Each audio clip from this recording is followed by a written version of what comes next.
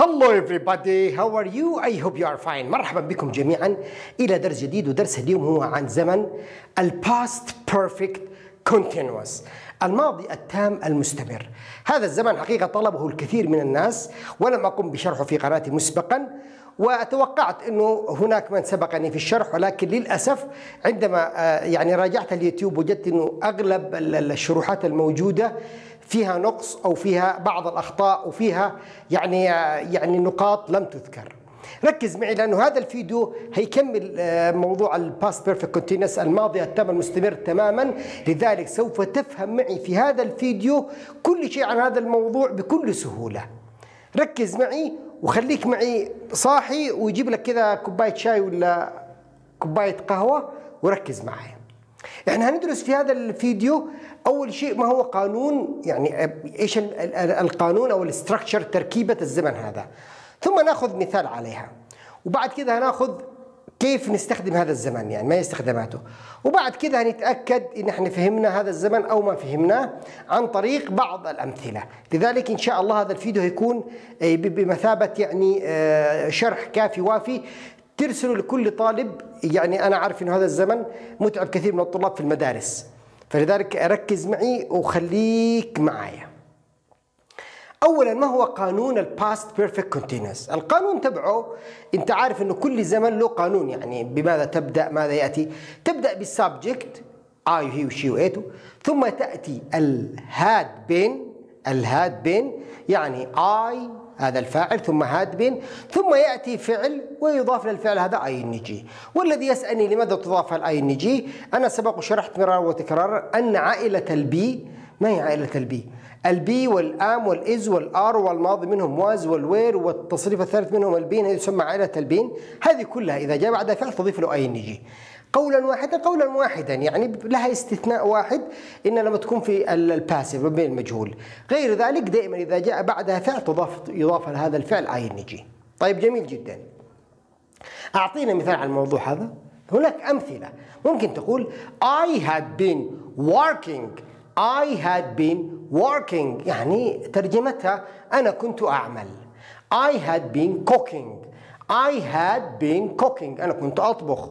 She had been sleeping. هي كانت نائمة. She had been eating. هي كانت تأكل. وعلى هذا الحال أخذنا القانون وأخذنا عليه ترتيب الأمثلة واحد يقول لك هذا الكلام على عيني وراسي. هذا لما تعطيني فراغات يعطيني فراغات بعرف أحل المو... لكن أنا متى أستخدم هذا الزمن؟ الله يرضى عليك يا أستاذ. جميل جدا. هنا مربط الفرس. انت ركز انه الماضي التام المستمر اللي هو ال past perfect continuous هو يعتبر الماضي من المضارع التام المستمر ال present perfect continuous واحد يقول لا مش فاهم. يعني انت الآن انت الآن عشان تفهم هذا الزمن لازم تكون فاهم الزمن المضارع التام المستمر. طب أنا فاهمه. جميل. إذا ما أنت فاهمه ممكن تشاهد واحد من الفيديوهات اللي أنا أنزلتها على المضارع التام المستمر أو المضارع التام. طيب. المضارع التام المستمر. ما هو المضارع التام المستمر؟ عندما أنا أقول مثلا I have been teaching English for 15 years. أنا صار لي أدرس إنجليزية 15 سنة. جميل جدا. هو هذا الماضي التام هو الماضي من المضارع التام. الماضي التام اللي هو أخذناه. I had ومثلا been بعدين فعل teaching ولا playing ولا working. هو الماضي من I have been. يعني I had been واضح أنما I had ماضي. هي الماضي من I have been. واحد يقول لي يعني الصورة بدأت تتضح بس أعتقد الأمثلة هتوضحها لي.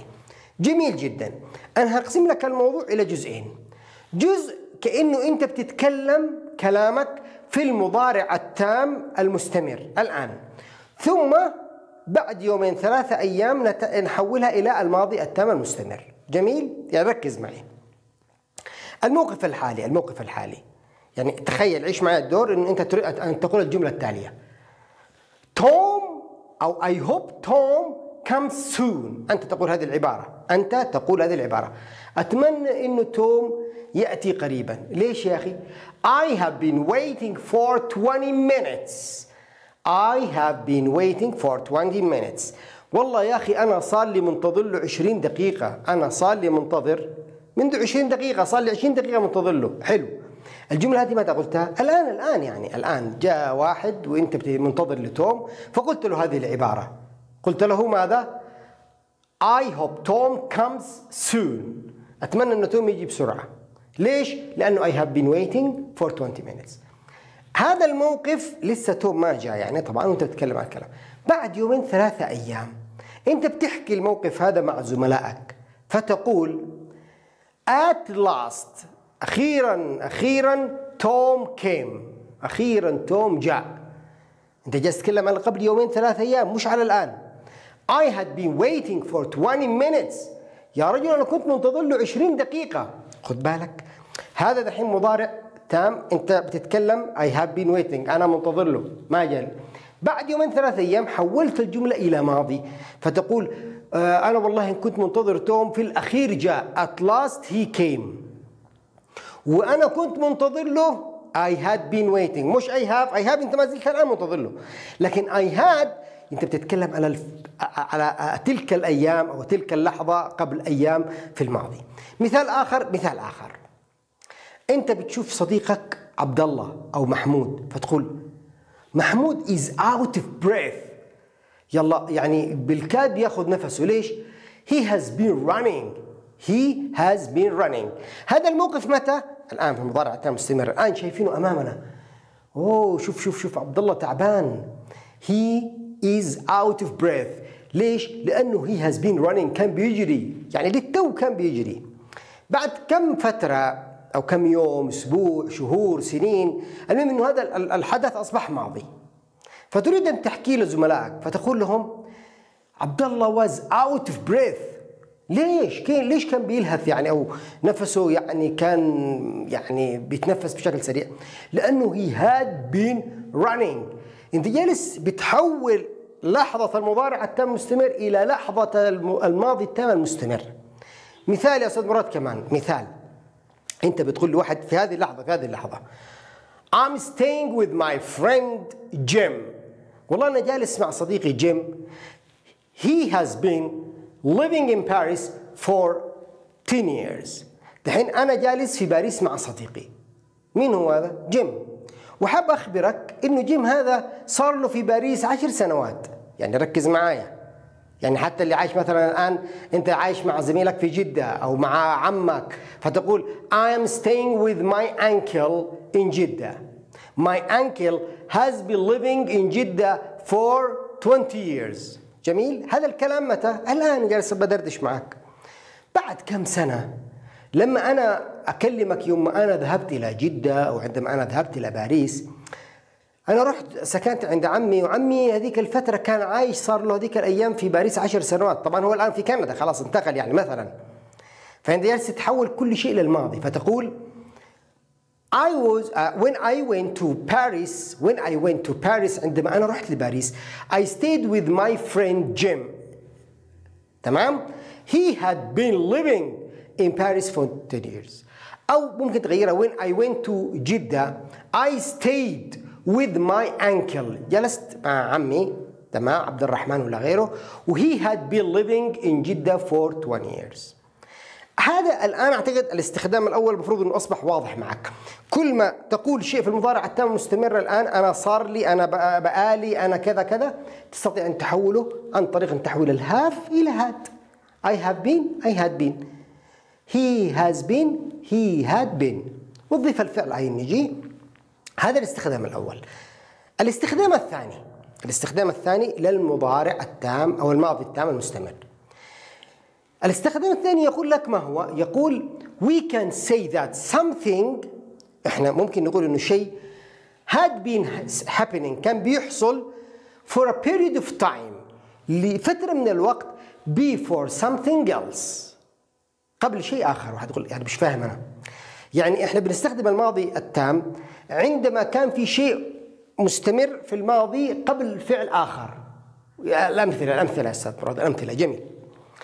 أنت الآن ممكن تقول مثال بشرح لك أنا إنه إحنا لما يعني كنا بنلعب كنا بنلعب لمدة نص ساعة قبل ما المطر يبدأ يعني. فأقول لك we had been we had been playing tennis for about half an hour.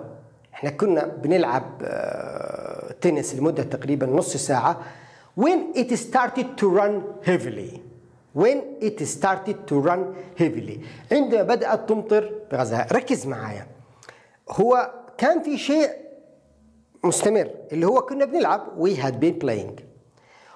وهو قبل إيش؟ قبل ما ينزل المطر. عشان كذا قال when it started.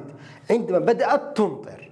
فإذا معناته أنت الآن آه، بتتكلم عن الماضي كل ما تريد أن تتحدث عن الماضي وقبل يعني حبتشرح شيء قبل نقطة معينة. يعني كنا نايمين قبل ما هو يطرق الباب. هي كانت آه، بتطبخ عند يعني عندما هو يعني نفس الطريقة نفس التركيب.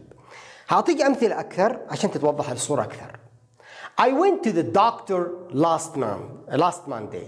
أنا رحت لعند الدكتور الاثنين الماضي. I hadn't been feeling well for some time. يعني I hadn't been feeling well for some time. يعني هذا المثال يعني أنا رحت الاثنين الماضي بس ركز معي بنفس الطريقة.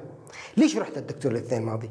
لأنه قبل يوم الاثنين أنا ما كنتش أشعر بصحة جيدة يعني لبعض الوقت يعني I hadn't been feeling well.